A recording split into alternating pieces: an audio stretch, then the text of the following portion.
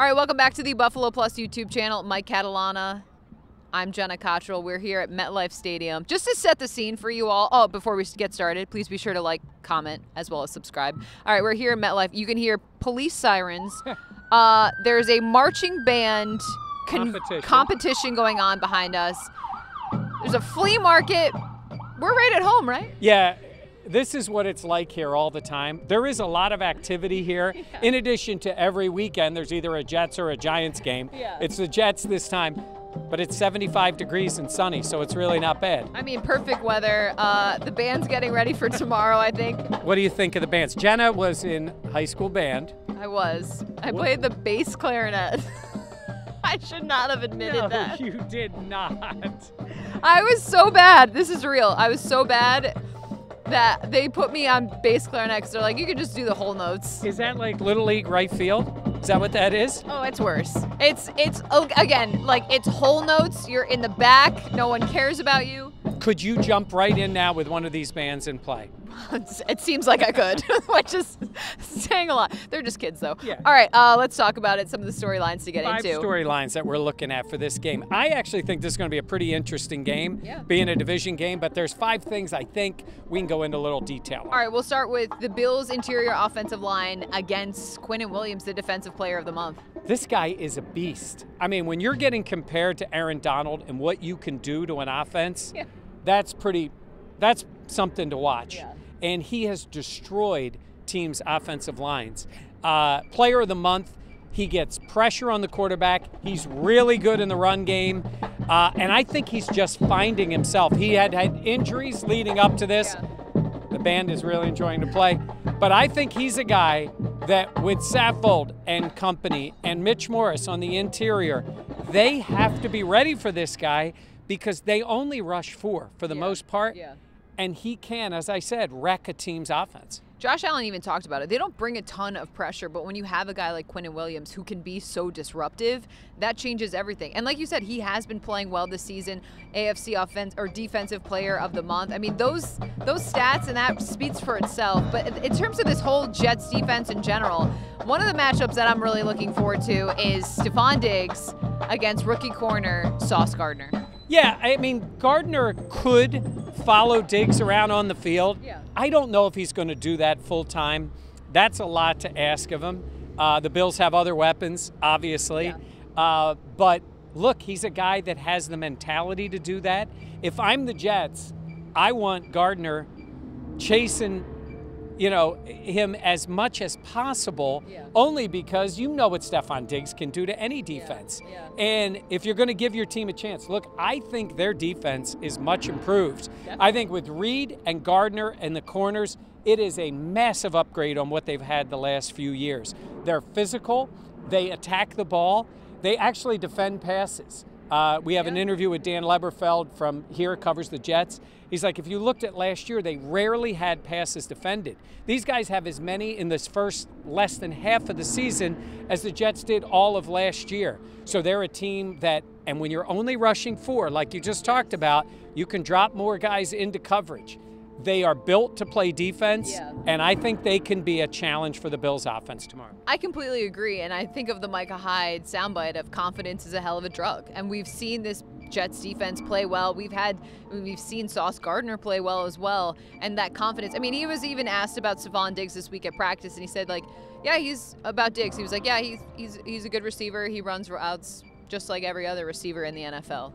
So, I mean, very confident. You know, corners are usually like that anyways, but um, Sauce is the guy who wore the uh, Cheesehead, cheesehead yeah. leaving Green Bay, so we know he has confidence. And look, if you're the Jets, you're going against the number one team in the league. Yeah. You're a young player. You want to make a name for yourself. Yeah. You do it against the best players. So we'll see how they match up. Yeah. But I think it is a. It's not an advantage for the Jets, but I think it's their strength, that defense against the Bills' offense, as good as the Bills' offense is. absolutely. When you're looking at their team, what stands out? It's got to be the defense. Yeah. All right, let's talk about Nyheim Hines. Uh, the Bills obviously making the trade. so there's buses going by. The wind is blowing. Honestly, the weather is beautiful. But Nyheim Hines, what do you expect to see in terms of his time out on the field, how much he'll be used, and how he'll kind of acclimate himself into this Bills defense or offense? yeah, I, it'll be interesting to see how many plays they give him. And I think because he can line up in multiple plays, yeah. I don't think they're trying everything week number one. Agreed. I think you're going to see him be in the backfield. I think you're going to see him be in fast plays. This is absurd. Well, we have a theme going on behind us. Maybe it's the Buffalo, Buffalo Plus theme, right? There we go. We'll see if we can record this. Uh, look, I think as time goes on, Nyheim Hines is going to be lined up in multiple places, yeah. and other teams are going to be having to react to that. I don't think week one against the Jets mm-hmm. that you throw him out in every different place and let everybody see that on tape. Yeah. But I think he's going to play and I think he's going to make a few plays for him. And we know Josh Allen likes what he's seen. And it's funny, I know there's that picture of them walking off the field together when the Bills played the Colts before. Yeah. And and the Bills have talked about how much Brandon Beane talked about where they had their eyes on him yes, from the yeah. draft all the way through. And you make this trade, you don't do that to sit him on the sidelines. Right. It's going to be interesting how they match up the snaps. I don't think it changes that much. I think it is Singletary is the number one back. Hines in his role, maybe James Cook too. Yeah. I don't think he's going to take. I think both of them are going to dress tomorrow. That would be my thought because Hines has just started in yeah. this offense. I'm really excited to see him play for the Bills. Do you think he's returning tomorrow? I think there's a really good chance. I think they put him out there. Why not? I mean, yeah. the guy was just doing it for the Colts. Yeah. He's done. He did have a concussion earlier this year, but I think that's why you brought him in. And this place is tough, yeah. as you mentioned. The wind. There's, it's always windy here. Uh, but I, again, it's why you brought him in. You know, he's going to play. That metronome is booming right now. Yeah. Um, I'm excited to see him play, just to see again. And like you said, it's not going to be. They're not opening up the playbook. It's not going to be. I don't expect a huge number of snaps, but I just want to see what he can be. And you always talk about players talking about catching a Josh Allen pass yeah. and just the, the speed on that, how you have to adjust to that. So I'm just curious to see how the acclimation process will go. Uh, speaking of offenses, in terms of the Jets, Zach Wilson, um, you know, second year guy. I think earlier on in the season when they were playing well, when Breece Hall was in the lineup, you, you kind of you had more faith in what he was able to do. Um, but now with Hall being out, and you saw it last week, just some of the decision making. I mean, that is to me the biggest thing to look out for because the Bills' defense has a huge opportunity here. Sometimes I have to remember this team is five and three. Yeah. They found a way to win games, yeah. and if they could knock off the Bills, they're right in it. But the quarterback has not been a plus at all. Yeah. He don't 355 yards last week. He was terrible last week. He threw three interceptions. He threw the ball away multiple times. He's completing less than 50% of his passes over the last four games. When the ball's hitting the ground that much and when you're throwing it away that much, it hurts your team. And we talked about how good their defense is. But when your offense just cannot sustain drives, and you have some weapons out there, yeah. Garrett, Garrett Wilson's Wilson, really good. They've got a solid tight end. They've got other wide receivers. Like they have guys that can play. But I don't think this team has faith in the quarterback. And I don't know what Robert Saleh is going to do. But I think if he's a one read guy against this Bills defense, whether Tre White plays or not, and I'm iffy on that. And by yeah. the time we, we post this, maybe they've already announced that he's not playing. We don't know for sure. Yeah. I think the Bills defense should own, own Zach Wilson in this game. I really do. I think if the Jets have a shot in this game, their defense has to play well, and he's got to complete some passes. We talk about it.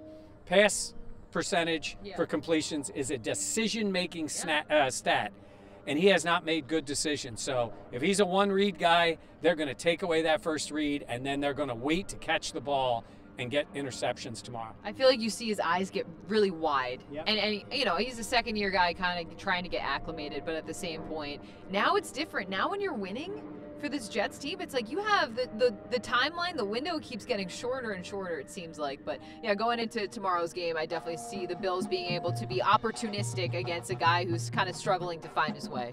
All right, talking about this, we know that the Bills are double digit favorites in this game. It's a divisional game, but who was it that said it's the toughest games to win or the ones that you're expected to win? It's a friend of mine who has worked with a team that knows about winning when they're supposed to win, the New England Patriots.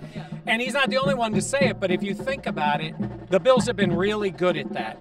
And they've rarely lost. Jacksonville last year is the glaring example, but they're not getting any better, uh, is the glaring example of losing a game that you should absolutely win. The Bills don't do that very often, but in this division now, Miami is really good. They've already beaten the Bills, and we we accept that Miami is their challenger in the division.